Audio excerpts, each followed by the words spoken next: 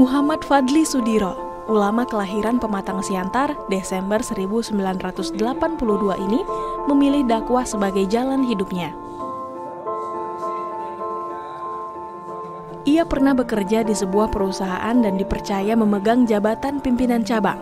Namun, ia memutuskan untuk meninggalkan dunia pekerjaan demi berdakwah.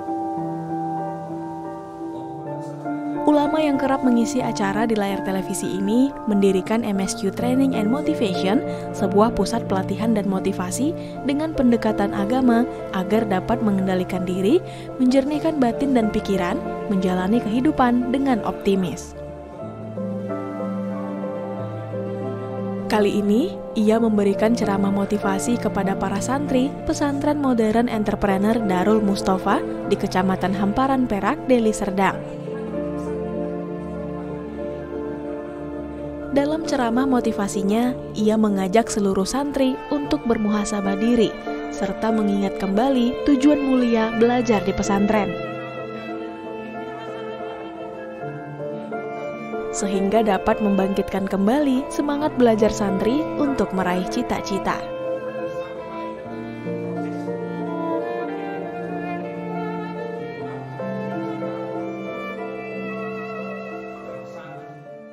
Jika nafas masih ada, itu tanda kesempatan untuk bertaubat masih terbuka.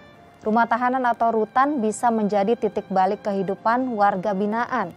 Dalam menjalani masa tahanan, pendampingan spiritual tentu sangat penting diberikan kepada mereka agar siap kembali ke keluarga dan juga masyarakat. Pada episode kali ini pemirsa, kita akan berbincang dengan seorang dai peduli rutan Ustadz Muhammad Fadli Sudiro dan juga satu lagi ada mantan warga binaan rumah tahanan yang kini telah menjadi seorang dai pula. Ada Ustadz Oji Vendra. Assalamualaikum Ustadz Ustadz apa kabar? Waalaikumsalam warahmatullahi wabarakatuh. Insyaallah. Khair khair mumtaz insyaallah. Uh, karena ini ahlinya MSK ya, um, jadi kita manggilnya master gitu. Insyaallah, insyaallah Mbak Manda. Ya. Master Fadli ya. lama tidak bertemu, terakhir ketemu kita beberapa tahun yang lalu itu Dalam di program Rutan yang juga, sama ya? juga peduli Rutan. Da, da, DAAI ya, DAI, DAI, DAI TV. DAI TV juga yang peduli Rutan bersama Mbak Manda pada program itu hmm. menciptakan satu formula organisasi namanya Inspirasi Bangsa ya, ya. dengan Mas Nanda ya. pada saat itu ya. ya. Binaan kita juga. Ya, beberapa hmm. tahun yang lalu dan ya. sekarang masih komit, masih uh, keluar masuk rutan juga. Insya Allah, oh, keluar masuk kita ya kita keluar masuk, nggak masuk terus nggak keluar keluar begitu ya. Baik, saya panggilnya Master aja okay, nih good. ya. Uh, saya terlebih dahulu ke Ustadz Fadli. Nah, sebelum bicara lebih jauh tentang rutan gitu kan, uh, Ustadz Fadli ini kan juga seorang founder dari MSQ atau Maha Semesta Kuantum. Mungkin uh, boleh diceritakan kepada kita semua pemirsa di rumah sekilas tentang MSQ itu apa? Baik, MSQ saya uh, coba phone itu di tahun 2012, 12, 12, 2012 karena saya lihat anti klimaks dari sebuah film katanya akan kiamat pada tanggal itu ya. Oh. Ternyata nggak jadi kiamat sehingga motivasi harus dibentuk lebih baik hmm. begitu ya. Jadi tepat di tanggal tepat itu. tanggal. Karena saya ulang tahun tanggal 12 bulan 12. Oh, nah, ya. Jadi sebagai hadiah untuk persembahan terbaik atas umur yang diberikan Allah Tuhan kepada kita. MQ-nya berasal dari inspirasi guru saya, Agim, kemudian SQ-nya dari ISK Ari Ginanjar. Saya kuliahnya di Jogja, tapi saya melihat sentralistik motivator yang ada di Jakarta itu dominan tinggi sekali. Saya kita berpikir bagaimana kita fond, founding sebuah lembaga motivasi yang berdomisili di Medan, tapi mempunyai value goal nasional. Dan alhamdulillah sekarang sudah sampai kita Surabaya, Padang, Jakarta, Jogja ya kita menjadi bagian dari motivator nasional yang domisilinya adalah Medan supaya ada keseimbangan ya. Jadi selain kita bicara tentang hmm, tujuan besar dengan motivasi, cuman mendudukkan bahwa dis uh, pemecahan porsi ya. Jadi kalau jangan sampai semuanya Jakarta, semuanya Bandung, semuanya uh, Jogja begitu ya. Tapi Medan sebenarnya kok tidak gitu. Hmm. Maka kita coba create itu dan ternyata kita mendapat pengakuan dan legitimasi dari nasional dan diundang beberapa event-event nasional yang berdiri setara dengan teman-teman motivator yang ada di nasional. Begitu Mbak Manda. Baik. Dengan begitu banyaknya aktivitas pasti yang namanya motivator pasti dipanggil-panggil gitu ya banyak mengisi acara begitu. Sejak kapan juga peduli menaruh perhatian yang begitu besar terhadap warga binaan saudara-saudara kita yang menjalani masa tahanan di rutan? Iya, di awal saya resign dari perusahaan tepat pada tanggal 1 Mei 2013, itu hari buruh ya, saya membebaskan diri saya dari kemerdekaan di buruh gitu kan. Jadi saya keluar, itu saya ingin jabatan dan ingin dipindahkan ke Surabaya sebagai branch manager. Itu aneh sekali, bos saya bilang, kok udah mau naik gaji, udah mau pindah, karena memang batas waktunya sudah selesai, saya bilang. Saya itu bekerja itu dengan batas waktu, how to learn, how to export, and how to create gitu ya. Jadi kita kerja itu sebenarnya Mbak Manda itu belajar yang digaji sebenarnya nggak keren-keren sekali gitu.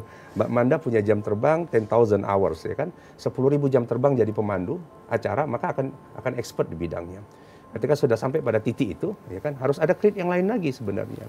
Saya melihat perusahaan sudah mentok nih, kreasi saya sudah habis kalau di sini terus jangka panjang kayaknya pada batasan ini harus ada yang lebih. Mohon maaf Oji kalau mengungkit kisah lama gitu ya, uh, pada saat itu apa yang terjadi pada Oji sehingga harus menjalani masa tahanan di rutan? Ya baik Mbak Mada, bahwasanya awalnya saya kena hipnotis, hmm. kena hipnotis. Saat itu lagi skripsi ya? Iya skripsi. Terus apa yang terjadi? Kemudian seorang pemuda ini oh. awalnya dia menawarkan emas emas palsu, menawarkan eh, kepada saya gitu kan. Hmm. Dia bilang pemuda ini bilang e, apakah ini emasmu? Dia bilang oh tidak. Dia menawarkan gitu oh gimana kalau kita tukaran sama tas-tasnya hmm. eh, iya bersama tas yang dipegang saat itu namun saya menolak juga kan hmm. kan tapi dia memiliki ilmu sihir itu tadi saat hmm. ya seperti hipnotis. Dia hipnotis. Iya, hipnotis. Dengan cara memukul, menepuk. Iya, dengan cara memukul di uh, di sebelah pada kanan. Saat itu, ya, saat itu bahu yang ditepuk. Iya.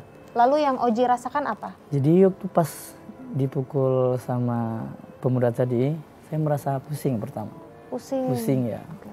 Memang dalam hati istighfar terus, istighfar. Hmm. Tapi karena begitu berulang-ulang pukulan itu, akhirnya saya merasa seperti tertidur lah.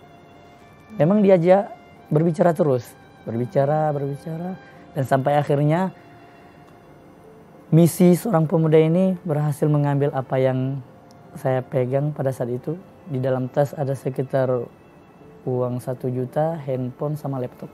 Hmm. Nah, kemudian pas sudah malam itu mbak, hmm. jadi hipnotis itu terasa masih ada, masih ada, masih ada ya. Jadi seolah-olah saya disuruh waktu itu, disuruh untuk mengambil barang-barang yang berharga seperti handphone. Hmm. Bertepatan pada saat itu pula ada seorang ibu-ibu yang lewat di depan saya mbak, hmm. lewat di depan saya, kemudian bujukan hipnotis ini seolah-olah mengatakan ambil handphone itu, ambil handphone itu. Kemudian saya langsung ngambil, hmm. mengambil lari, kemudian dikejarlah sama masa pada saat itu, hmm. itu mbak, kejar masa, kemudian barulah dikirim ke Polsek Medan Barat. Pada saat itu saya di sana juga sebagai moderator ketika ustadz-ustadz datang dalam mengisi kajian saya pembawa acaranya. Okay. Dan alhamdulillahnya seiring berkenalan sama ustadz-ustadz setiap harinya, kemudian setiap minggunya juga berjumpa dengan beliau, al ustadz. Jadi itulah dimotivasikan, memberikan motivasi dari al ustadz. Saya pun begitu semangat, walaupun pada saat itu saya berada di rumah tahanan. Nanti kita ngobrol lagi di segmen berikutnya. Baik pemirsa, seperti apa keseharian uh, Ustadz atau Master Fadli? Kita lihat dalam tayangan berikut ini.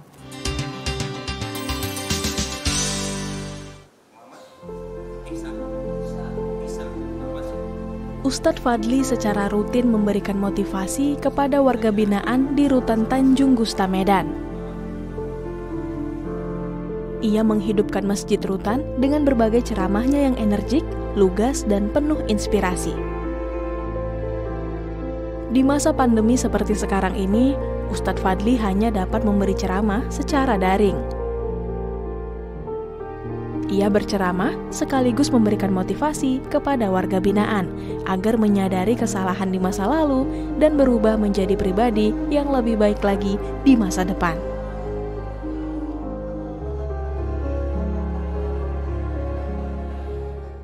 Oji, bagaimana rasanya menjalani masa tahanan itu? Walaupun relatif singkat juga ya, uh, vonisnya dua tahun. Iya, dua tapi tahun. mendapat remisi tidak sampai dua tahun. Itu kan hmm. boleh dibilang sih relatif singkat. Tapi bagi Oji sendiri pada saat itu seperti apa rasanya? Ya, baik Mbak Amanda. Pada saat itu saya merasa sedih, eh, tertawa bahagia ada juga kan. Namun sewaktu awal masuk ke dalam sel itu kami dalam satu kamar itu sekitar 100 orang Di satu di satu sel. sel Iya. yang eh, ukurannya bagaimana? Ukurannya lebih kurang seperti ruangan inilah. Hmm, Ya. 100 orang. Di 100 situ. orang. Karena kemudian ada pemutihan seperti pengurangan. Jadi yang paling sedikit itu sekitar 80 orang dalam satu kamar. Ya, sempat merasa depresi nggak, stres pada waktu di awal-awal ya? Eh, karena kan mungkin merasa tidak adil begitu kan, bukan pernah niat untuk mencuri Iya. handphone, tapi akhirnya ada kena kasus seperti ini kan karena hipnotis gitu mungkin itu jadi berlawanan dengan batin hingga menyebabkan depresi barangkali. Iya, memang Mbak rasa takut ada, kemudian rasa seperti di dizolimi, Ya. yang mana pada saat itu saya sebenarnya tidak ada niat sama sekali untuk melakukan melakukan hal seperti itu, karena hukum dalam mencuri itu sebenarnya tidak baik Ustaz Ustaz ya. Ya. Begitulah di dalam sel itu ya itulah eh, Mbak. Tapi akhirnya menemukan titik kembali di masjid. Iya mbak, saya merasa lebih hidup yang hidup lebih baik lagi kan ketika saya masuk ke dalam masjid tersebut. Ya, hal yang paling diingat mungkin pesan atau motivasi yang begitu mengena, menyentuh hati Oji sendiri dari Master Fadli apa yang diingat? Eh, dari pesan-pesan beliau, kemudian juga dari eh, pesan-pesan ustadz lainnya bahwasanya ustadz-ustadz menyampaikan yaitu membawa sebuah hadis, potongan dari hadisnya yaitu fattaqullaha haitsuma kunta. Bahwasanya tetaplah bertakwa kepada Allah Subhanahu wa taala di mana pun Anda berada. Jadi tidak hanya di luar penjara kita bertakwa kepada Allah, melainkan juga di dalam penjara pun juga lebih mendekatkan diri lagi gitu. Apalagi di dalam tersebut sangat banyak peluang, banyak peluang, banyak waktu untuk memperbaiki diri. Baik itu dari segi melaksanakan ibadah sholat, membaca Al-Quran, dan lain sebagainya. Ya, jadi memang benar-benar uh, titik kembalinya itu di uh, masjid ya, Iya, di masjid. apalagi dipercaya menjadi seorang imam. Pastor Fadli, pendampingan spiritual itu kan sangat penting bagi warga binaan. Tadi Oji juga sudah jujur sekali ya mengatakan pada kita semua. Nah, tapi kan sebenarnya pendampingan spiritual itu hendaknya tidak hanya yang sifatnya normatif saja. Nah, kalau metode dari seorang master Fadli sendiri bagaimana? Hingga itu sangat menyentuh hati mereka gitu. Oji sudah membuktikannya. Ya, prinsipnya begini. Tubuh dan raga ini yang mendapatkan sinaran matahari itu. Dan itu sangat dibutuhkan itu. Motivasi atau bahaya bahasanya itu cahaya keimanan itu harus lebih terang dari matahari. Karena banyak orang, ya, kalau bicara secara normatif, mereka sudah bekerja kok di bidangnya masing-masing. Bukan pengangguran kok mereka itu. Mereka bekerja. Tapi hanya masalah dismotivasi dalam kehidupan. Mereka berasal dari mana, sekarang di mana, dan akan ke mana dengan cita-citanya. Maka setiap jiwa itu Tuhan pun tidak memberikan langsung uang kan. Tuhan hanya memberikan pahala. Pahalanya mana? Surganya mana? Itu masih abstrak itu. Ya. Jadi motivasi itu hadirnya di sana agar jiwanya hidup dulu. Itu para pahlawan yang mati 350 tahun sebelum merdeka. Merdekanya kayak sudah depan mata, tapi motivasi merdeka sudah ada walaupun tidak ada kemerdekaan. Maka kita akan sama mereka ini alladzina yazunnuna annahum mulaqu rabbihim. Motivasi tentang pandangan keimanan itu harus bisa menembus batas pandang manusia yang nggak beriman. Ketika kamu hari ini ada di rutan, ini adalah bagian cara Allah untuk mendekatkanmu padanya. Setiap hari mereka dapat ceramah sehari minimal dua kali. Tidak ada masjid di Medan ini yang ceramahnya sehari dua kali. Paling banyak juga seminggu tiga kali, seminggu dua kali gitu ya. Makanya kalau kita bilang kurang waktu ceramahnya, masjid tidak lebih baik dari masjid di Taubat. Karena setiap hari ada ceramahnya gitu. Jadi Anda dipaksa, ada tauan, ada dengan kita taat kepada Allah untuk mendengarkan, ada karhan. Maka doa terbaik itu Mbak Manda kalau menjadi orang sukses itu Allahumma paksa alaina. Allahumma paksa alaina. Kita memang harus dipaksa. Mereka masuk rutan, andai kata pun terpaksa masuk surga baguslah. Ya. Tersesat di jalan yang be, tersesat di jalan yang benar gitu ya. Jadi banyak teman-teman yang menemukan puncak spiritualitasnya itu setelah cahaya yang lebih terang dari cahaya matahari dan mereka harus digelapkan di dalam satu sel 100 orang dalam satu orang. Itu kan gelap sekali. Tapi hmm. ternyata cahayanya jadi lebih terang masuk ke hati. Hmm. Sehingga mereka mengatakan bahwa indah ya kemerdekaan itu. Gitu. Ya, indah ya kebaikan yang sudah dianugerahkan sebelumnya. Walaupun ada yang marah mengatakan, Ustadz saya sudah tobat, sudah tahajud, tapi hukumannya makin tambah. Hmm. Umur Bapak berapa? Saya bilang 50 tahun. Mau dihukum berapa tahun? 10 tahun. Harusnya kan 8 tahun, 7 tahun bisa Ustaz. Kenapa 10 tahun? Saya tanya umur Bapak 50 tahun kurang 10 berapa? 40. Masih ada sisa 40 tahun yang diberikan Allah free dan gratis dalam hidup Bapak. Tapi Bapak nggak mensyukuri. Rencananya 10 tahun akan datang Bapak akan ditahan. Tapi kan masih rencana. Jadi Allah sudah memberikan di depan Inna kausar bayar di depan 50 tahun Bapak hidup bebas tapi Bapak yang ambil risiko sehingga Bapak harus masuk penjara kan karena Bapak bukan karena Allah Subhanahu wa taala. Hmm. Baru sebulan dua bulan Bapak tobat cerewet banget mintanya sama Allah saya bilang. ya nggak adil dong. Anda sudah dikasih lebih banyak, jadi lebih banyak yang sudah diberi dibanding apa yang hari ini coba diuji saya bilang sama mereka. Jadi kalaupun yang kena hukuman mati gimana Ustaz? Ya syukur hmm. Anda bisa mati dalam keadaan husnul khotimah. Karena matinya pakai konfirmasi. Ini sebaik-baik kematian kan orang yang dihukum mati. Israel itu koordinasi dulu gitu sama Mekumham gitu. Tanggal berapa kira-kira dieksekusi. Mbak Manda saya kan tidak gitu ya? kita tidak tahu kapan ya, kita mau mati. Ya. Jadi kalau sebulan lagi sampai dieksekusi, nggak jadi orang husnul khotimah, itu tragedi sekali hidup Anda. Orang matinya dikonfirmasi kok. Ya, ya. Kalau kita kan nggak dikonfirmasi, jadi kita nggak tahu kapan harus mati husnul khotimah. Gitu. Makanya seorang Freddy Budiman misalnya, inspiring sekali. Ya. Bandar narkoba kelas internasional sampai klimaks gitu, triliunan gitu ini kelas gang aja sombongnya selangit saya bilang ya. Dan hukuman mati juga kan sampai kan repotnya begitu. Tiba-tiba dia ketemu titik baliknya dan dia tobat. Waktu mau dieksekusi saya lihat bahkan keningnya saja hitam. Saya puluhan tahun sholatnya belum hitam-hitam kening saya. Wow, dia baru berapa bulan saja sudah hitam. Tapi itu bagian dari titik balik. Lebih baik saya bilang sama mereka bekas orang jahat dibanding bekas orang orang baik. Master Fadli dan juga uh, Oji kita tahan masih ya, punya segmen terakhir pemirsa ya. seperti apa sosok Ustadz Fadli di mata mereka kita dengarkan dalam tayangan berikut ini. Kita cukup sangat bangga mengenal Ustadz Muhammad Fadli Sudiro. Uh, selain beliau juga sebagai salah seorang penasehat di pesantren modern entrepreneur Darul Mustafa ini, beliau juga memang dalam rutinitas kegiatan pondok uh, memberikan motivasi bagi para guru dan santri di setiap tahunnya. Menurut saya Ustadz Padi itu bagus, sering membuat, memberi motivasi bagi kami dan memberi semangat bagi seluruh santri di sini sehingga semakin semangat untuk mondok di sini. Karena Ustadz Padi Sudero pernah berkata katanya santri itu pasti akan menjuarai dunia. Jujur tidak hanya saya tetapi juga teman-teman saya dan saya semua sangat senang ketika beliau memberikan motivasi kepada kami semua dan di saat itulah semangat kami begitu membara-bara ketika kami ingin belajar. Di saat kami mulai malas belajar, di saat kami mulai mengingat motivator dari beliau, kami mengingat bahwa di situ pentingnya belajar. Maka dari itu kami sangat bangkit semangat. Oji ketika kembali ke masyarakat gitu sempat merasakan stigma enggak gitu dari wah ini bekas narapidana bekas ex warga binaan gitu terus orang eh, teman-teman yang dulu nggak mau dekat lagi.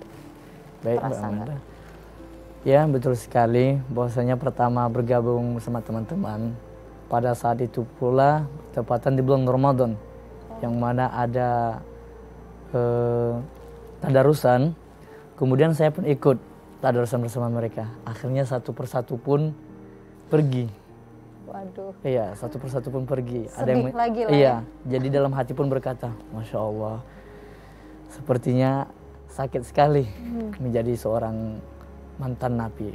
Lalu melewati itu bagaimana? Namun saya terus ingat motivasi dari ustadz saya yaitu Muhammad Fadli yang mana saya pernah berkata sama beliau, Ustadz bagaimana masa depan saya?